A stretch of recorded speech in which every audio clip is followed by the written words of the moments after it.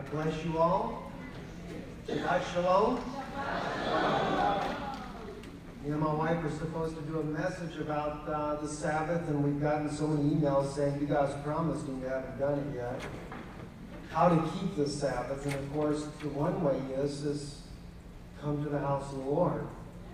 That's what they did in uh, the time of Yeshua. Uh, says Paul says, as it was his custom, he went into the synagogue on the Sabbath. See? So you're keeping Shabbat today. Amen.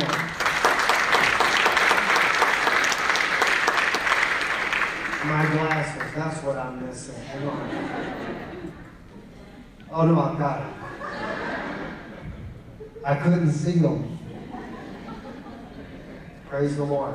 Uh, we're going to be going through a lot of different scriptures today, and Psalm 83 is going to be one of those. Um, but if you have your Bible, I'd like to start in the book of Exodus, chapter 15.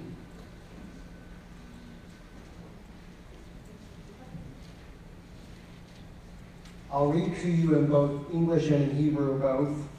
Not that anybody probably understands Hebrew, but there's a reason for it. It says, Az Yeshua Moshe Uvane Yisrael et Hashira, which means that Moses and the sons of Israel sang this song to the Lord and said, and it actually literally says that uh, the children of Israel, they were going to sing the song, Hazot Hashem, or the God's divine name, Ve'amur lemor Ashra this means I will sing in Hebrew. It's a future tense. Asherah agao susne kavora beyom. I will sing to the Lord, for he is highly exalted. And the horse and his rider he has hurled into the sea.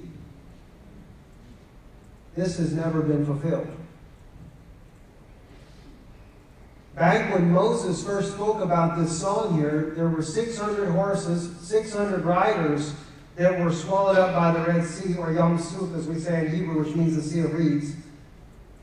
And including Pharaoh and his army, they were all wiped out. But Moses says he's going to sing about one horse and one rider that God will destroy.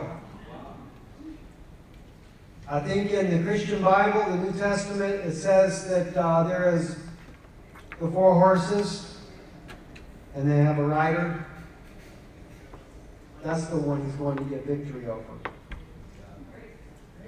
We'll come back to this in just a moment. Let's go ahead and go to Psalm 83. I have two Bibles, a Hebrew one with me, and I have a King James Bible as well. And sometimes I get picked on about King James because if I correct a translation, I catch a lot of heck from people over that. In Psalm 83, it says here, Keep thou not silent, O God, hold not thy peace, and be not still, O God, for lo, thine enemies make a tumult. It's an uproar. And they that hate thee have lifted up the head. They've raised up their leader. They have taken crafty counsel against thy people, Israel, and consulted against thy hidden ones. Sepunecha is how we say that in Hebrew. That's your two witnesses. A lot of people, they think, well, you know, it must be Israel. No, it's not Israel. So, in fact, um, um, one gentleman asked me one time, he said, Steve, do you think that that's the, the raptured bride or, or something like that? I said, how could it be? I said, if the bride's going, then she's gone. Why do they need to take counsel against her? She's already gone. I said, if they're hidden, they're hidden now. And God said that He would send them again, and He did hide them. And there's different doctrines that go around as far as who the two witnesses are. We'll, I'll kind of touch on that a little bit, so it, it, might bless you a little bit. And I'm not against any different doctrine on it. It's okay. Whatever people want to believe is okay. I personally believe it's Moses and Elijah many different reasons, and but one of the main reasons is too is because on Mount Transfiguration we saw Moses and Elijah, so neither one of them are dead, and they were standing there on either side of what? The golden lampstand. Christ is that. Yeshua is that actual lampstand. that the oil comes from. That we see in Zechariah, the two anointed ones, the two olive branches on either side. So he was, they were standing there, and of course they were talking about what was going to happen to Yeshua. And uh, but anyway, the hidden ones, they have been hidden. Moses has been hidden. Elijah's been hidden. And I know that there's some belief as far as Enoch, and that's okay. I don't have any problem with that. It'd be nice if he came back too, uh, you know. But uh, the nice thing, though, we can see though, when it comes to to any of these, Moses, Elijah, Enoch, whatever the case may be, they're still hidden away by God for a future work that's going to take place. He says here, they have said, Come, let us cut them off, that meaning Israel, from being a nation, that the name of Israel may be no more in remembrance. And believe me, we have that problem today. You know, it was uh, Pope Francis recently when he declared that the, there, there is a Palestinian state. When he declared that there is a Palestinian state, immediately, as Brother Paul brought out to you guys, 136 nations also said, we agree that there's a state. Now, the irony of this all is that the Pope of Rome says that there's going to be a Palestinian state in light of the fact that the Bible says that you're not to divide Israel. Joel says don't do it. The Pope of Rome says we're, we're going to do it. Now, a lot of people are saying, when are they going to have two states? When are we going to see two states in Israel? Is it going to happen or is it not going to happen? It's already happened. Now, the brother in the back there, we, I don't know if you can show the picture of this on here, but we have a photograph of a border crossing that is being constructed from Tel Aviv to Jerusalem.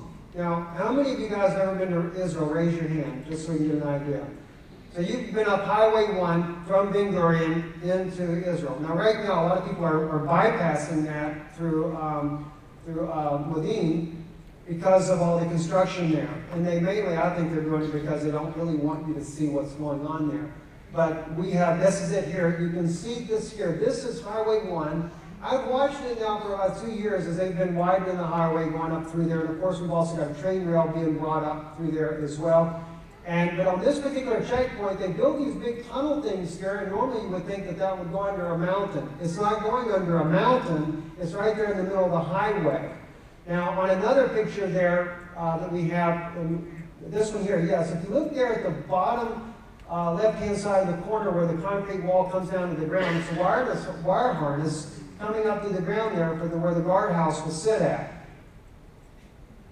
Why are they making a checkpoint from Tel Aviv to Jerusalem?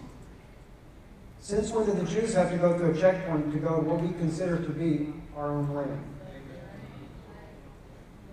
Now, Brother Begley interviewed uh, uh, uh, Shimon Tov, correct? Uh, listen to that. And he talks about that because he's lived in Israel pretty much most of his life, if I'm not mistaken. And he says, for 10 years, we've noticed different checkpoints appear in places that was cutting the Jewish people off, putting them behind the line, and of course, Israel on the other side of the line. Well, this one here is actually cutting off all the Jews in Jerusalem. This, what they're doing is they're preparing Jerusalem for exactly what Shimon Peres wanted back in 1993 when he met with the Vatican and they decided that they would internationalize Jerusalem but it also fulfills prophecy. In Micah chapter 4, verses 9 and 10. Let me take you to that real quick. I'd like for you to see that. So when they talk about, the Pope says that there's going to be a, a second state, um, or, or, and they're always talking about, okay, we're going to negotiate for two states. We've already got two states. Anytime you're taking and going this much into building to separate the country and you're building checkpoints for Jews to go through when Jews should not have to go through a checkpoint to get into the land that's supposed to be theirs, then there's definitely an agreement been done. I don't care how much that the government, and I know Netanyahu is under a lot of, uh, a lot of pressure. He's, when he first got elected back in the 90s, there was a sister in uh, Florida, I was actually there, and who just got elected, and the people in Israel, they ran through the street and they cried out, Benny, King of the Jews, Benny, King of the Jews. And I said, it'll never work. I said, as good a man as he is, he will not work. And I'll show you why. In Micah chapter 4,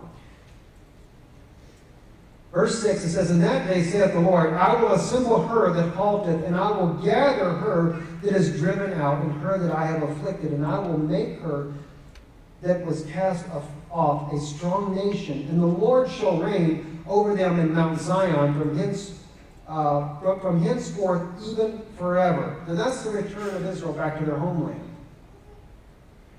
And now, O tower of the flock the stronghold, the daughter of Zion, and to thee shall it come, even to the first dominion. The kingdom shall come to the daughter of Jerusalem. Now watch what he says. Now why dost thou cry out aloud? God brings us home, and now we're beginning to cry.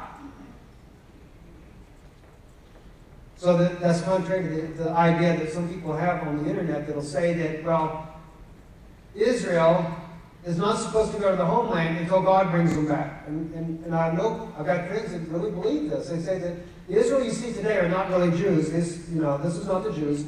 It's, they're supposed to come back because they're literalists. They say God says that when He will bring them back. Well, you know, God said to Moses, I have come down to deliver my people. I have heard their cries, and I have come down to bring them out. And then God says, and I'm sending you.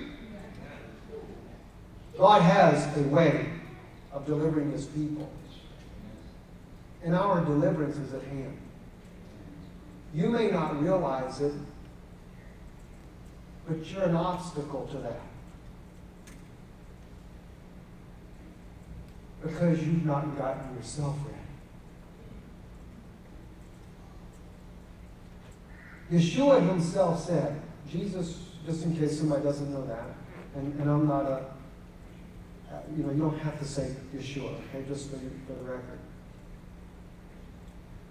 He said, until the fullness of the Gentiles has come in,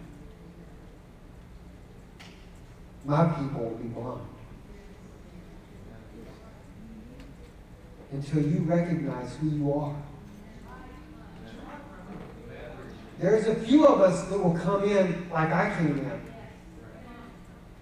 But they're walking around blind because you haven't done your job. Whether it's your own life or whether it's your neighbor that you haven't told anything about the gospel of Jesus Christ yet, too. I have stood there in the woods in Israel, and the Orthodox rabbis would be sitting there and they'd be pacing back and forth. Kol Hazman Adonai, Kol Hazman Adonai. How much longer, Lord? And they wonder why God doesn't seem to hear their prayers. In 2004, God spared my life from a suicide bomber where I walked down the sidewalk with her. And the Lord told me to go and move me out from her direction she blew herself out. I lived there during the Intifada. I know what it's like. But the reason why we have not had our eyes opened yet is because he's waiting for his bride to recognize who she is. And you're holding it. It matters to me because it's my people. And I love you very dearly. But this is something you've got to do. You've got to tell everyone you possibly can that Jesus Christ came in this world. He died for you. He gave his life for you. He's not really an any prepared. He is long suffering. And even with Israel, do you, do you know why we're blind in the first place? You know, when Moses took years ago, and he says, God says to him, he says, they were crying for water. We came across, we come out of the wilderness, or come out of Egypt, and we cross the Red Sea, and we come up to this place called Meribah. And my fathers were there crying and saying, We have no water. You've brought us out here only to die. And God says to Moses, Take the, take the elders of Israel the Levites and come out to the rock. And this is not 38 years later where he tells him to speak to the rock, but he says, Smite the rock that it bring forth its waters. It was a prophecy.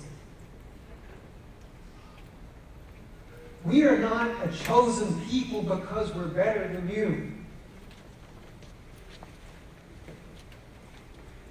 We were chosen to reject him.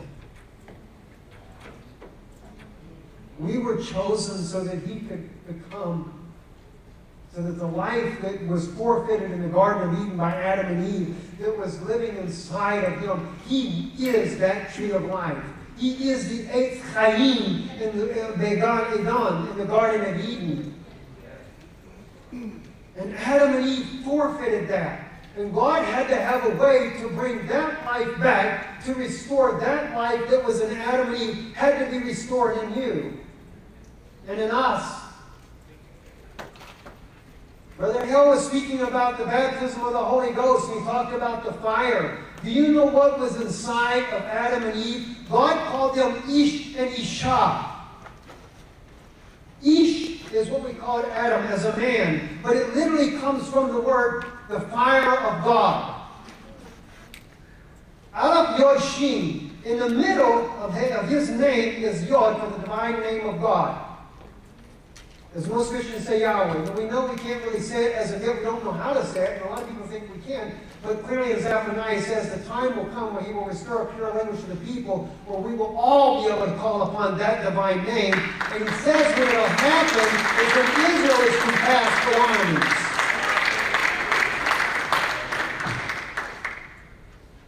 Isha is what he called Eve. Not Chava, Isha. She was filled with the Spirit of Almighty God. The fire of God was in her like it was in her husband. He didn't make her a lesser creature, by the way, either. When God taken, he formed and he made Eve, it says he taken, in Hebrew it says, min ish. He took from the fire of Hashem and he made Isha. In fact, if he didn't make Isha, we would not have Yah today because it was between them two, the Yod and the Hay, that makes the divine name of God was, was made right there between the two of them. So that's why it says that the, when, when they're going to get married, the husband will shall leave his father and mother, and they two shall cleave together, and they, the, twain shall be one. The rabbis and sages said if you take the yod and the hay out of their names, you have nothing but a devouring fire left over. You have to have God, or it will not work. You know when God said to her, and I'm kind of going off topic to begin with, when the fall comes, of course, Adam, he's quick to pass the buck. The woman you give me, she did it. He says to Eve, Tu shutecha. You will turn to your husband. You know how hard it was for him to say that to her? And then he said, and he will rule over you. Brothers, that wasn't a divine decree. She had a relationship with him, just like Adam did. And because of the fall, God knew they were both without the Holy Spirit now. And because he was bigger, and not so much maybe with Adam and Eve, it was a prophetic utterance that he says, You will turn, literally, you will turn to your husband. Even the Septuagint translated that one right. You don't see it in the King James as well. It's kind of because they didn't understand the spiritual application of this. And he will rule over you. It was never meant, meaning he'll be your boss. But when Yeshua came, he restored that. He restored the relationship that was broken between God and mankind. That's what Adam's name actually means when you read the word Adam. Adon, it say, is mankind. Because when he created them, he said, That means he breathed into the nostrils of this man, or mankind, his own life. The word Chaim is Yahweh's life in a plural form. Because you know why? All the animals got Chai, which was God's life too. They had a nefesh, they had a soul. But with Adam, the mankind, he put both man and woman in the same body. And then he did the operation. And it's interesting because you know it says in the Bible about Adam, it says that um, it's not good for the man to be alone. This is what Yeshua went through. Adam was experiencing everything that Yeshua experienced. He longed for that relationship for his bride. Just like Yeshua has longed for that relationship with you. Adam was willing to lay his life down. In Hebrew, the word that is used there is like a coma. God had to put him in to do the surgery to open him up to bring forth his bride. Yeshua on Calvary was put into that same type of sleep willingly. And his side was torn open by that Roman soldier. So that the life that he meant for every one of you could come out of him. That's why in the upper room it says there were cloven tongues like as a fire that rested upon each one. And it was for men and women both. He's the same yesterday, today, and forever. Let's go back on track. So they built this checkpoint in Israel. Boy, what did I do? A puzzle with these lists. And Micah says here, verse 9, God asks the question, Now why dost thou cry out aloud, speaking to Israel, Is there no king in thee? God doesn't ask questions for no reason. He, he says here Micah, verse 6, He's returned our people to their homeland, and He says, I'm never going to leave you again, and I'm with you. And now God says, Why do you cry out aloud? Is there no king in thee? You see, the way Israel sinned and left God is the way we have to go back, and you're no different. If you have sinned and you have left God and you're in a backslidden condition, the only way you're going to get back to God is to go back the way you left Him. Where you left Him at is where you'll find Him at. And that's what Israel did, and so God asked us the question. He said, Is there no king in thee? Because when Samuel the prophet was on the earth, Israel said, We want a king to lead us. And Samuel said, God's not pleased. He goes before God, and God says to Samuel, They've not rejected you, they've rejected me. This is why Israel fulfilled biblical prophecy when the people ran through the streets when Benjamin Netanyahu was, was elected prime minister of Israel in the 90s, and they said, Benny, king of the Jews.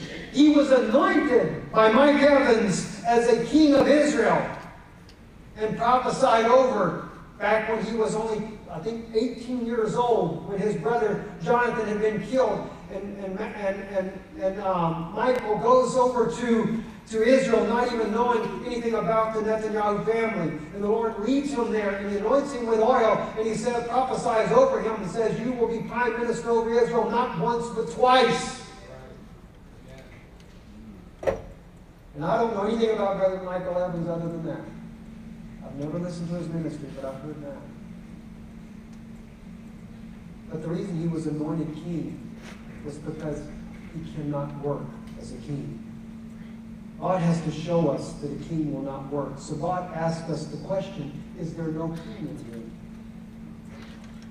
We're surrounded by our enemies on every side. Hezbollah, it's of interesting. Hezbollah says not too long ago, a few months ago, they said, uh, uh, we're not ready to do a war with Israel. Israel bombed and they killed the Iranian general and they killed one of the high-ranking officials of Hezbollah. And of course, then Hezbollah retaliates and then they say, oh, by the way, don't send any bombs over here because we're not ready to go to war with you yet. Do you guys not notice these comments they make? Yeah. Excuse, excuse me. When are, we, when are you going to be ready to do a war? As soon as Pope Francis says we can, then we'll attack.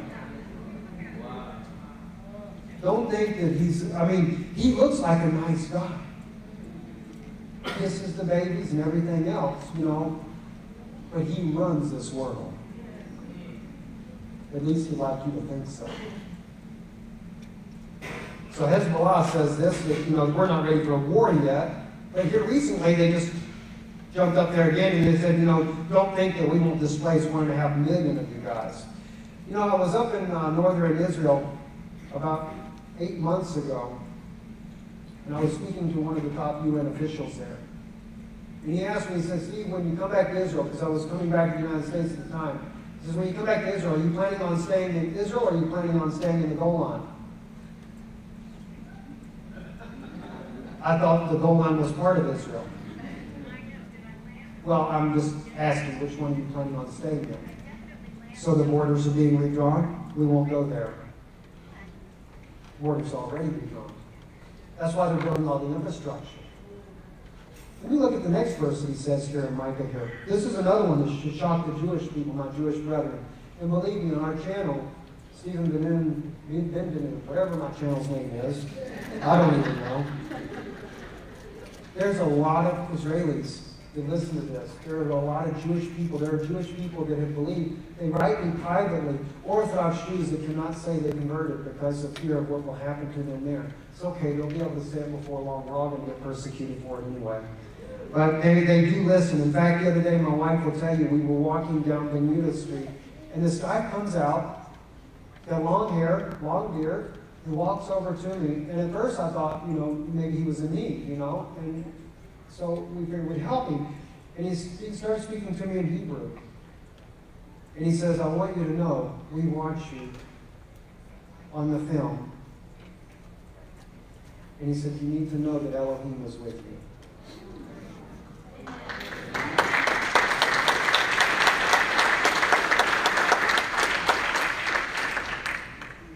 Micah chapter 9, or excuse me, chapter 4, verse 9, the next sentence is the fatal question to Israel. After he says that there no king in thee, he says, Is thy counselor perished? Isn't Yeshua called by Isaiah the counselor, the prince of peace, the mighty God? He's making us think you rejected me as being your leader. You didn't want a prophet, you wanted a king. So now I'm going to let you see that your king's not going to deliver you in battle. Now he has to take us back to what happened in 70, or not 70, but, but back 2,000 years ago before the temple was destroyed. One thing I always ask my Jewish brethren is this question here. Listen, every time that we have ever been scattered as a people in our history, we never got scattered because we were such a great people and God was so proud of us. We got scattered because we did something wrong. We were in sin. We were in idolatry. Israel, by the way, was the most religious looking in appearance nation on the planet when Yeshua got there. Religious to the T, just like America. Outward appearance is not what matters. God says that he was looking for sincere repentance, not sacrifice. but yet they offered more bulls and goats than you can imagine. That's not what he was looking for. It's not what he's looking for with us. He's looking for sincere repentance. Change of heart. That's what he wants.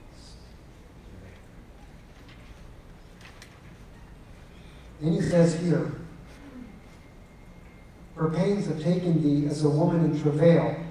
Be in pain and labor and bring forth the daughter of Zion, like a woman in travail. For now shalt thou go forth out of the city, and thou shalt dwell in the field, and thou shalt go even to Babylon. Therefore shalt thou be delivered. There the Lord shall redeem thee from the hand of thine enemies. The hand of our enemy is in Babylon. And today, the spiritual Babylon today is in Rome and Rome's right hand warrior is the United States. That's, that's hard to say. But it's no harder than us saying that we ended up killing the Messiah. We have to admit what we do wrong. We can't just put, pass it off as a power of evidence and think everything's okay when it's not. But he says that there. And then what's interesting, if you take, we're looking, let's go back to Psalm 83 real quick. Paul keep me posted on time because I don't pay attention. Because notice what he said. They're going to go to Babylon to be redeemed. Isn't it interesting where Netanyahu, well, Shimon Peres kicked it all off for us. Started the negotiations with Rome. The Pope got involved in all of this. Let's go back to verse 4. They said, Come, let us cut off them from being a nation, that the name of Israel may be no more in remembrance. For they have consulted together with one consent. They are confederate against thee. Who is? The tabernacles of Edom and the Ishmaelites and Moab and the Hagarenes. Now, Edom has tabernacles, churches. What are those tabernacles? Well, let's take a look at Obadiah. If you want to see who the Confederacy is, they list all the Confederates that they are. But notice that the Ishmaelites are with them, the, the Moab, the Hagarenes, the Gebal, Ammon, and the Amalek, and the Philistines. Now, here's another interesting thing about uh, Psalm 83, because people say, what do you think about the Psalm 83 war? The Psalm 83 war is not so much a war, it is a war. It is a war that is coming against Israel, but they're begging God not to keep silent. But does it mean God will intervene? He will intervene, but maybe not at the beginning. We have to wake up. In Obadiah, I won't tell you which chapter to go to, I'll let y'all figure it out now. Verse 7 All the men of thy confederacy. Here's the, here's the one, remember, they're confederate with Edom, right? And now well, let's see what it says here. In Obadiah, how are the things of Esau, verse 6, how are the things of Esau searched out? How are his hidden things sought up? All the men of thy confederacy have brought thee even to the border. The men that were at peace with thee have deceived thee and prevailed against thee. They that eat thy bread have laid a wound under thee. There is none understanding in him. Shall I not in that day, saith the Lord, even destroy the wise men out of Edom and the understanding out of the mount of Esau? So the question is, is who is Esau? Who is Edom? We see that there is a confederacy with Edom, which is Esau, by the way. Edom is the mountain which Esau lived on.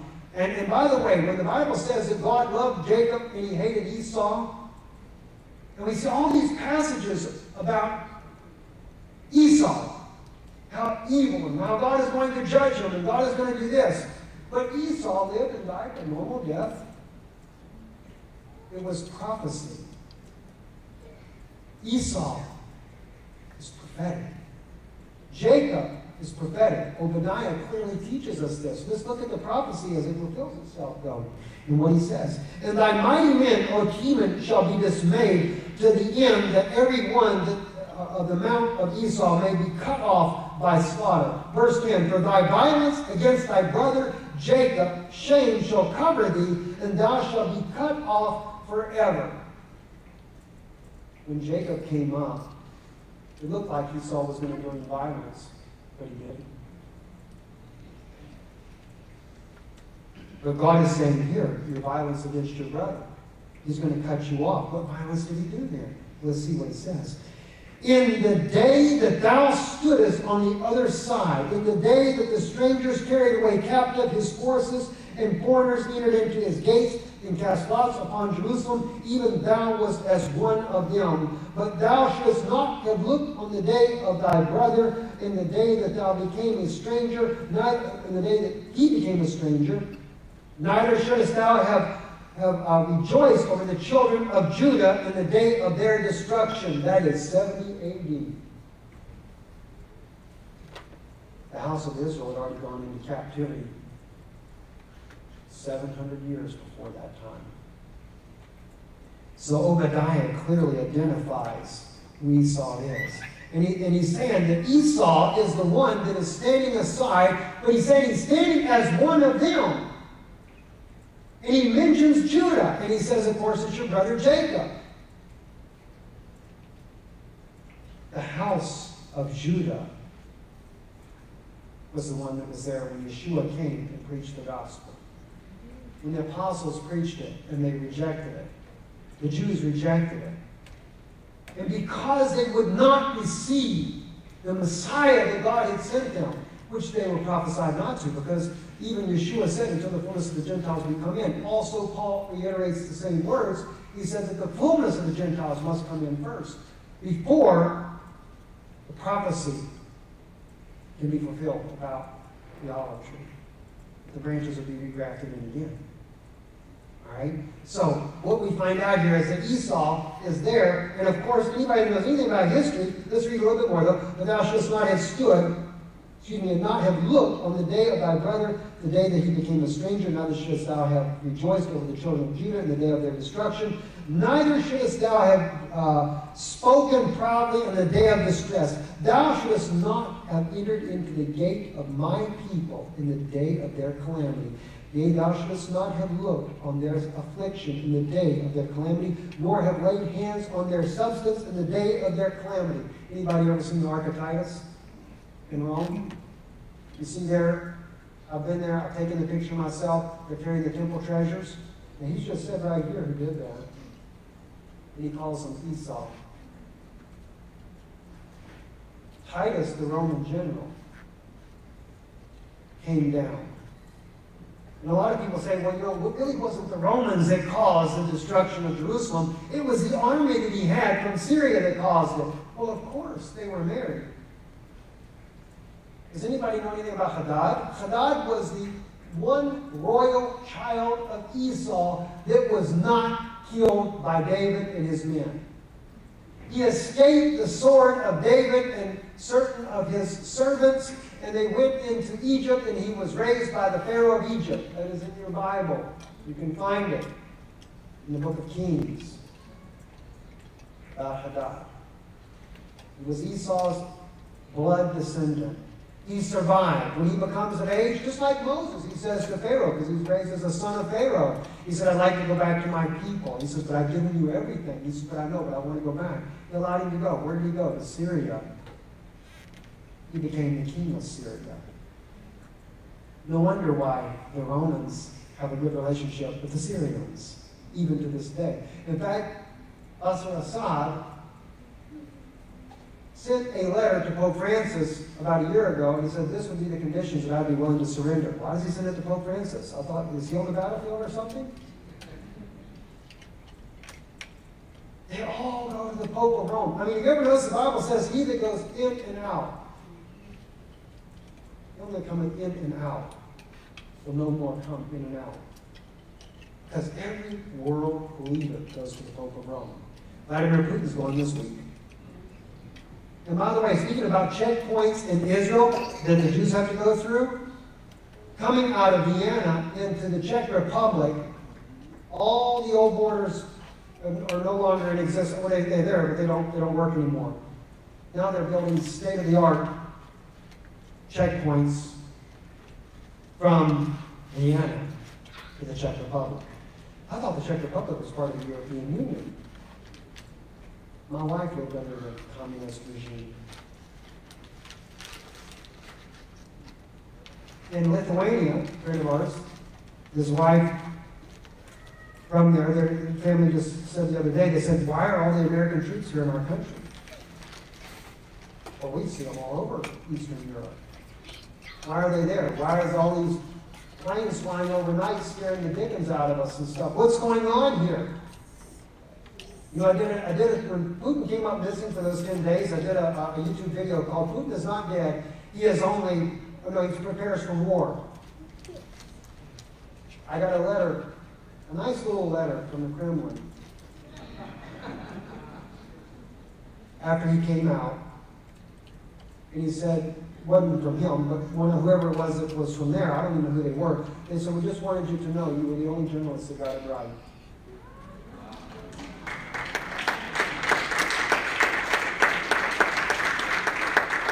He was in the bunkers. And the thing is, is they're going to have a war, but sometimes I can't help but wonder if they don't all know about it. Just like with, with Hezbollah, Nasrallah. Nasrallah says to Israel, we're not ready to do the war yet. Why are they building checkpoints in Europe? Brother Paul spoke to you guys not long ago about 10 regions of the world. It's true. Your New World Order is going to have 10 regions.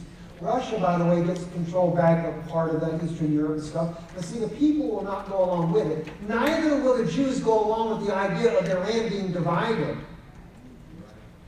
And this is what's funny. The checkpoints are being built. The lines have already been drawn. The deals are already signed. The Pope of Rome has already signed the deal with Israel for two states. Why do you think he announces it? Why do you think he's coming to the United States to speak at your at the, here in this country here? And he's coming to speak here at the Senate or Congress, whichever it is. I get mixed up sometimes. In, Israel's Knesset.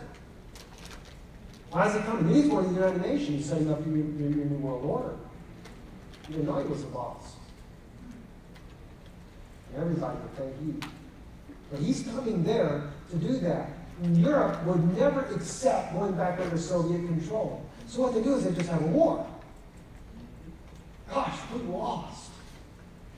That's why Russian troops are here again. Same thing with Israel. They can build the checkpoints all they want. And the people go to resist. Syria will come in, Hezbollah will come in, and Super Pope will send NATO.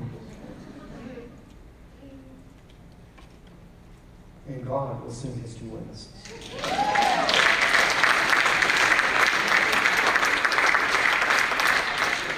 How, how much time is that? Anybody know? 20 minutes. Oh, the good part comes now. Praise the Lord. Brother, is your name Elijah? No, I'm just kidding. I won't do it. Oh, those There's a lot of rumors going around, guys, by the way, but it's kind of funny. Brother Paul puts out that video, the two witnesses are in Gethsemane. That was good.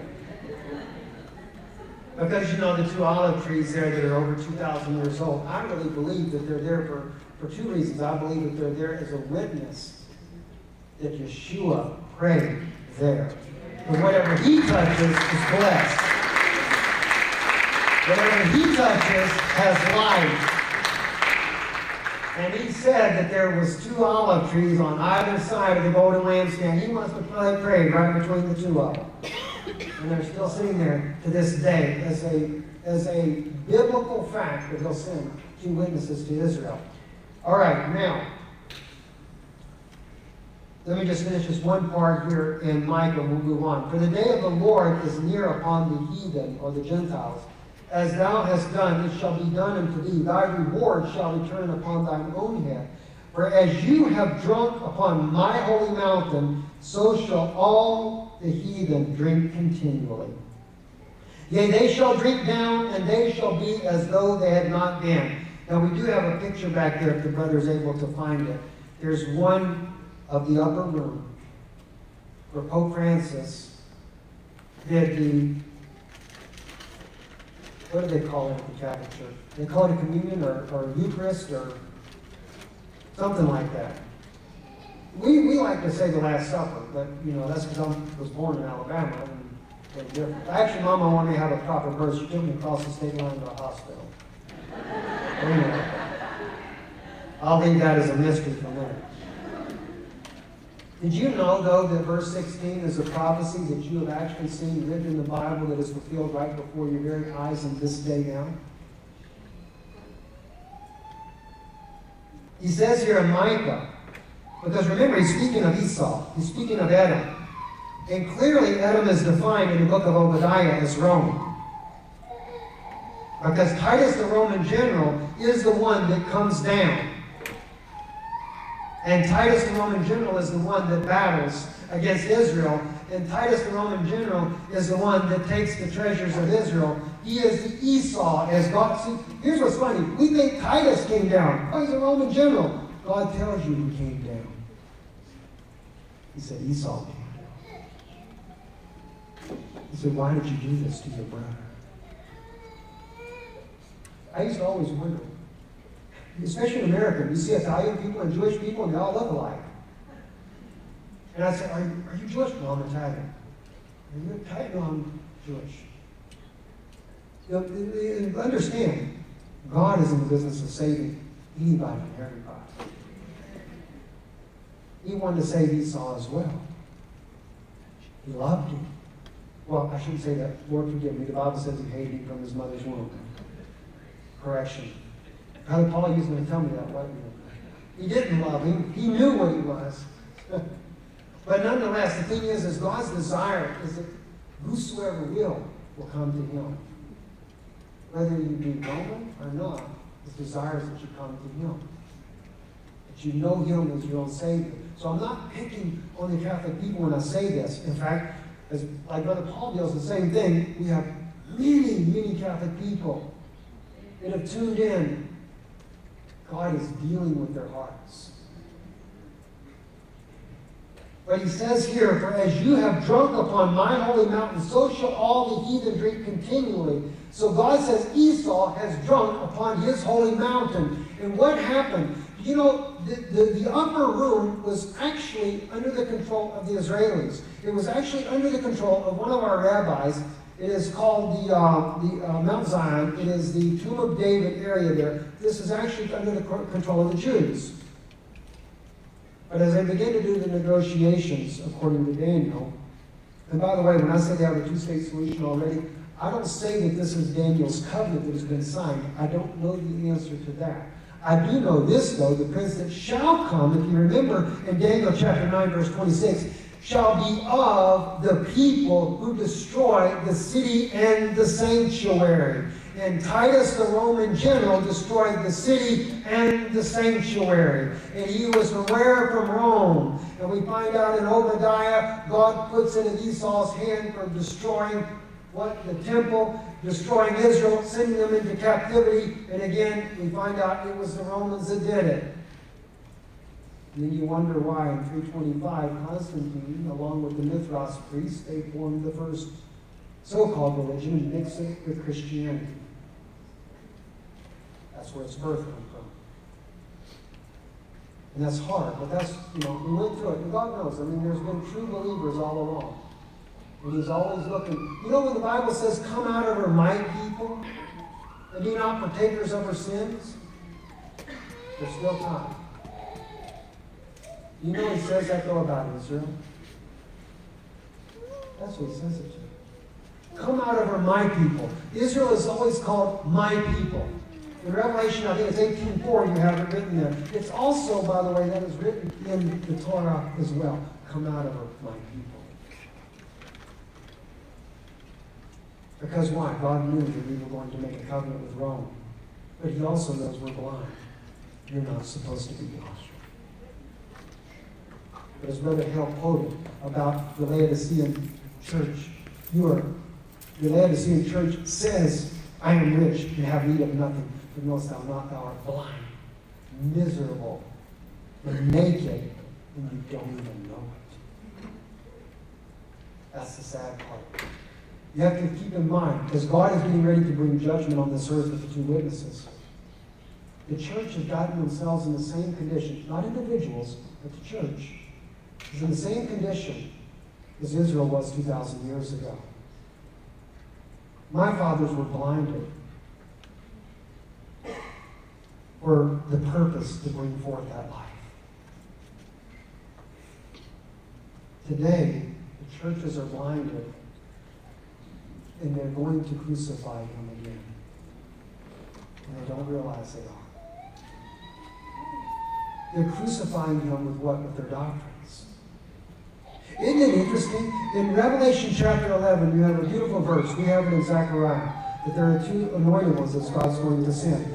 Also in Matthew 24, when Yeshua is talking about all the things that are going to happen, he says, When this gospel, when this evangelion in Greek it says, when this evangelion is preached to all the world, then the end will come. And I used to always think, you know, growing up, and, and, and I've been in different types of churches uh, throughout my life. When I first, I was the first Jew in my family to believe. But when I did believe, I went to all these different churches and stuff, and I always think to myself, which one's going to have it right?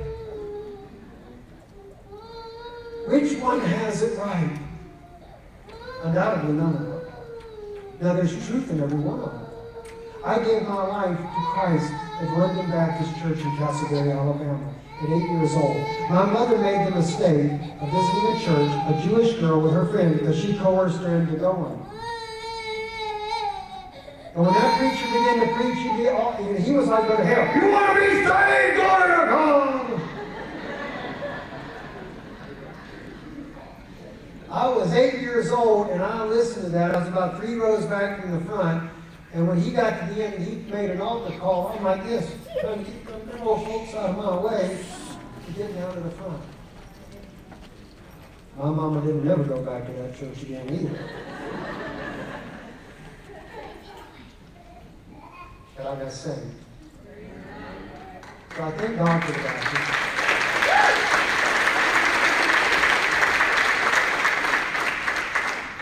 In fact, the, the, pastor of the First Baptist Church of Fort Lauderdale, Florida, I met him about a year ago. A friend of mine is his secretary, and he has a passion for Israel. And God bless him. So it's, it is, the, the, never would I dreamed I would have been speaking here in, in, in, in a facility that, is, that, that, that he's a part of here, especially with the things that I say, because he knows that I stay on the edge all the time. Uh, he read the book that I wrote, Israel is still God's people, and I think he's read the book Yam Suf as well. But, uh, but he doesn't get away, with, get away with saying as much as I say. But anyway, God bless him in this church for allowing the call to have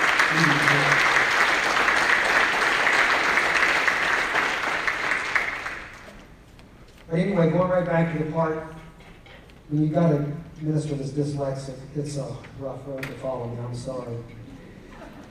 Going back to uh, Obadiah here, though, when they drank on the mountain there,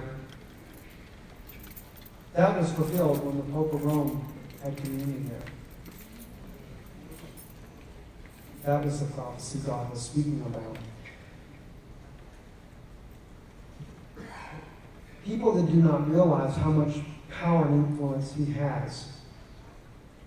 In Israel, and I don't condone some of the practices my brethren do, but let me just share with you some of the things that we do. We hold burial sites very sacred. And they should. We see them in the Bible. Abraham was buried here, and Sarah was buried in the lot in Hebron. So we know these things. But I don't believe in worshiping the dead, and I don't believe in praying to the dead.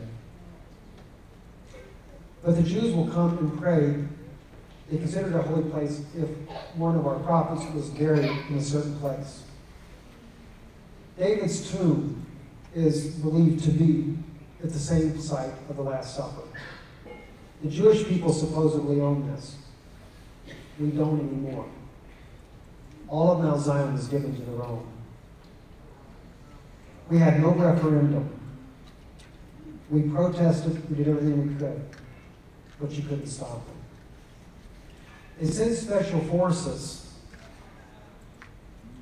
to the tomb of David a week after Pope Francis had the communion upstairs. And I don't have a problem with him having one upstairs. He has a right to do that. That's, it's a Christian gathering place. Nothing wrong with that. I don't have a problem with that. It's the way it was done. In Judaism, if Christians come and do something in a, in a, in a holy place that we consider sacred, we are to never pray there again. They sent the special forces in to the tomb of David, and they threw all the Jews out. So that they could hold a communion service in the tomb of David.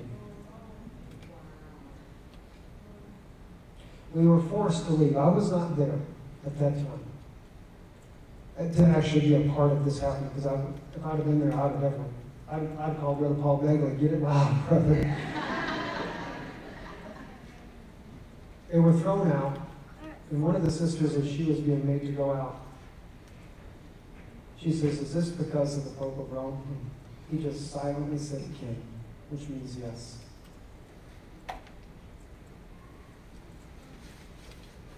And then they had a communion service inside the tomb of David. Now, you may not realize the significance of this. About a year, or several years before this, Pope Benedict was given the official seat at the tomb of David for the Pope of Rome. What does this mean? David was the king of Israel. The son of David is supposed to be Yeshua, and he is. And he is the one that sits on the throne of David. There is no vicarious Gilead Gilead in Israel. But our government bowed down and allowed it. When they put an official seat for the Pope of Rome there, they in essence said that he is the king of Israel. You wonder why that they say an Antichrist is a Jew? That's why.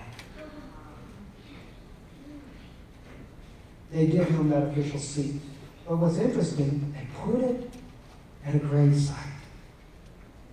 So this king is a dead king. And so God says here, You have drunk down on my holy mountain.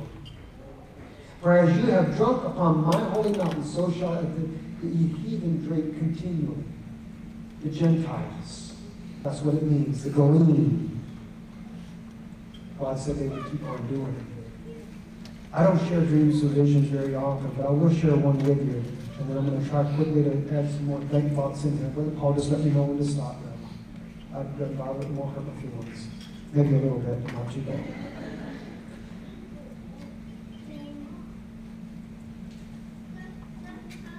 I was on Mount Zion. And in this dream, I seen the Orthodox community praying. And then I saw Christians praying. And I'm thinking, that's nice. And as I'm watching it, I'm thinking, oh, I hear you. You know, and I thought, best thing to do is pray. So I, I prostrated myself to the face of the earth, like David did. You see David in the Bible. Jews still do this. And I lay down on the ground. And when I did, it was like if you've been in Israel, we have a lot of desert. Everything's rocky and stuff. Everything was rocky there. And as I'm laying there praying, I look up and there's a stone in front of me about that, that wide. And I look up at that stone. And in Hebrew, I'll tell you in English, but in Hebrew it comes across on the stone. There is a man drinking on my holy mountain. And then it's like an amber fire that come across the stone and it went away. And then it came across again. And it says, You are to remove him. I'm not nobody. And I don't know what it means. I'm not an interpreter, and I don't interpret things. I just tell you what I saw. I don't know why he said that. And then I got up. And I began to walk around. And I began to look for this guy. I'm like, who's drinking on God's holy mountain? Of course, one person sent me an email. That is not God's holy mountain. You need to read your Bible. My holy mountain Zion. That's a quote unquote in the Bible. And I'm looking all around, and I'm going through the people, just zigzagging through. And suddenly I see this man, and his back's to me. And just before I get to him, he turns around. He takes the wine glass and pours the wine out. And he says, I've stopped. I said, You have to leave.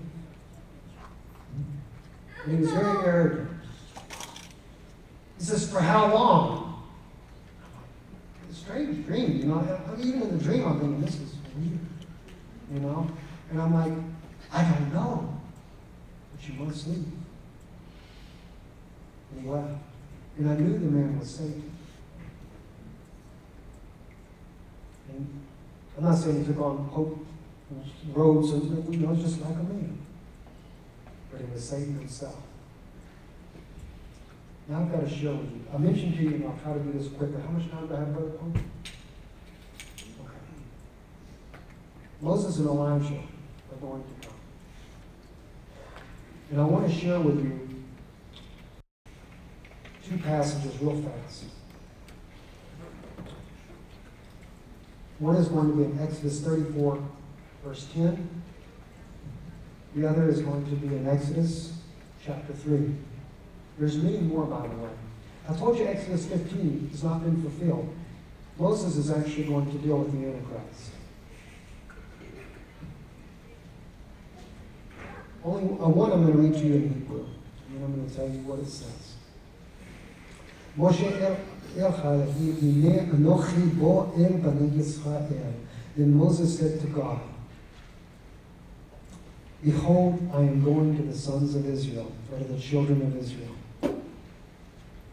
ואמרתי לכם אלוקי אבותיכם, שלכם יראיכם, ואמרו לי מה שמו. And when I go to them, and I'm just paraphrasing because I'm translating from Hebrew, when I go to them, they will say to me, What is your name? Mashimo. He says, What do I tell them? And of course, the famous words, Ehyeh Asher Ehyeh. Literally, we translate that, I am that I am. It carries a more prophetic statement. God is saying, I am going to prove who I am. Okay? Now, here's the interesting thing about the verse, though. Moses says, They will ask me, What is your name? What do I tell them? God doesn't give him his name. He just tells them, I'm going to prove who I am. Do you know Israel never asked Moses what his name was? We have no biblical record where they ever asked.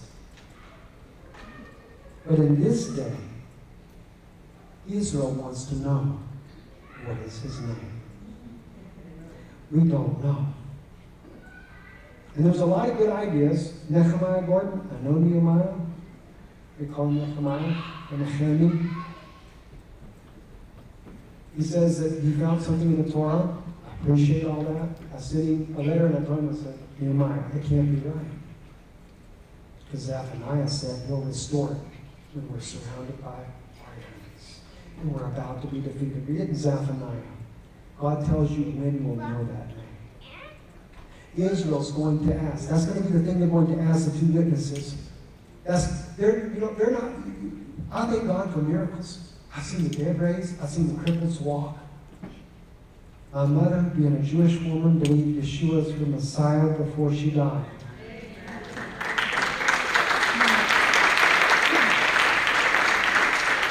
My mother was totally blind. And he spoke to me one day when I was on a tractor and he said, Pray for your mother's eyes. She had 20/20 vision by the time I got to her that evening.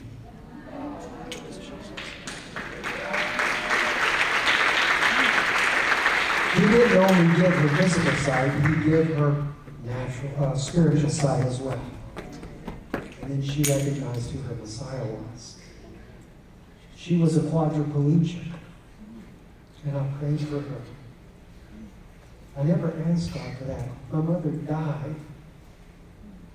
About 20 minutes later, they got word to me, your mother's dead. You need to go to the hospital. I said, I'm not going. My family said, Are you out of your mind? She died in the hospital. I said, I'm no better than Rahab the harlot. I said, they promised her her whole family. And I went down in the woods and I knelt down and I said, God, if I've ever believed you, I must believe you today. My mother is a drunkard. She doesn't know you. She's crippled. She's blind. And God raised her from the dead.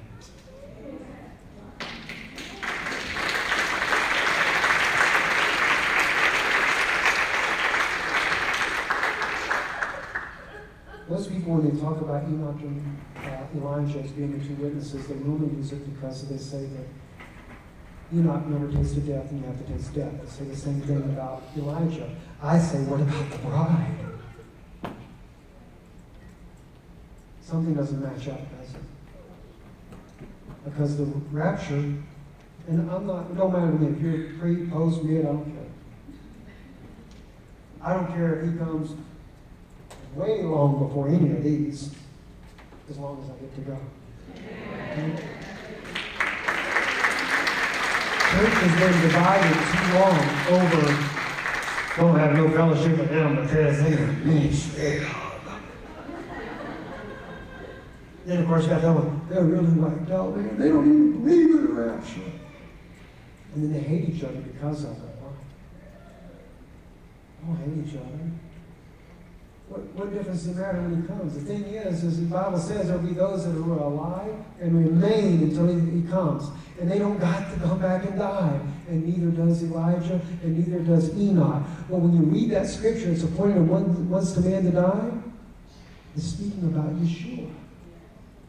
And the whole thing is about the prophecy. Does he have to die more than once? No. It's only appointed for him once to die, not multiple times. So when Moses says, they're going to ask me, what is your name? And they never ask him, it's not been fulfilled. When he says, I will sing, Ashira Adonai I will sing, a personal pronoun, I will sing unto the Lord that he has cast the horse and his one rider into the sea, the Antichrist. He's going to get victory over that guy. Now, here's what I'll close with right here. In Genesis, excuse me, Exodus 34, verse 10, the King James Bible says here, and he said, Behold, I make a covenant. This is God speaking to Moses. Before all thy people, I will do marvels. Now, those of you that are diehard KJV, and I'm a diehard myself, it's not translated correctly. Even the Jews know it's not. They, the Jews, we broke down and changed it to marvels too. And you know why? Moses died. Let me read the rest of I'll explain. I will do marvels such as have not been done in all the earth, nor in any nation. And all the people among which thou art shall see the work of the Lord, for it is a terrible thing that I will do with you. The correct way to translate the word is wonders. And you even have that in your margin of your Bible. So King James knew what the right word was. They just put marvels. The Jews put marvels too. You know why? Because they said he died and he never did anything greater than the parting of the Red Sea. How could he really do anything greater? God said he's going to do greater. Well, maybe God was making a mistake. I don't know what God was thinking. Why did God say that? I don't know. And so we argue about it over why he said it. They didn't know he was coming back. Now, whether it be literally Moses comes back or as the Spirit off of Moses comes on somebody, I don't know the answer to that. But the thing is, is God said he's going to do wonders like it's never been seen before. And it's terrible wonders. Now, how do you know it's Elijah? Yeshua says, Matthew 17, they come down off the Mount Transfiguration. They've been talking to Moses and Elijah. They're all blown away by it and everything. Peter, real quick, let's build some churches for you guys. It's not what interested in. You don't need to build another big church. Souls to Christ. Okay?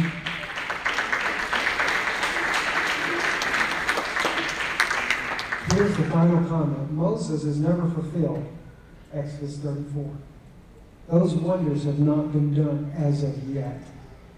Jesus said in Matthew 17, just paraphrasing, they asked him, doesn't the scribe say that Elias, we'll just read for Elijah, so we'll just say Elijah, doesn't the scribe say that Elijah must first come?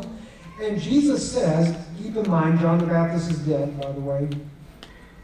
Truly, Elijah shall first come and restore all things. Why does there need to be a restoration done? Because we have to new doctrines. How's he going to get a bride ready? I used to think that the two witnesses are only to, to the Jews. But you know, clearly their message goes worldwide. The whole world hates them, except the little remnant. Little remnant in that belief. Brother wrote me recently. He said, You have no business correcting the translation of the King James Bible. It was perfectly done. I said, If it's perfect, why does King James Bible say that Elijah must first come and restore all things? If it's perfectly done, no restoration is needed. Translators are human. They're brothers, they're sisters, they mean well.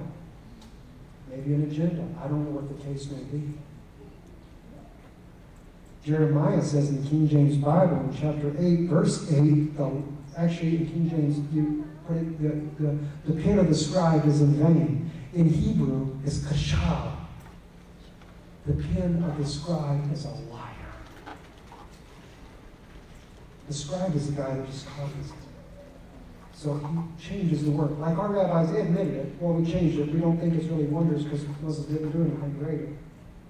No, it's wonders. They're coming. And they're going to set it in order. And those that do not hear them, will not make it. And not every Jew in Israel will believe either. Only a remnant. When Paul says all Israel shall be saved, that's all Israel, all the remnant, all the those that God foreknew from the time of the early age till now. That's all of Israel. You are all Israel.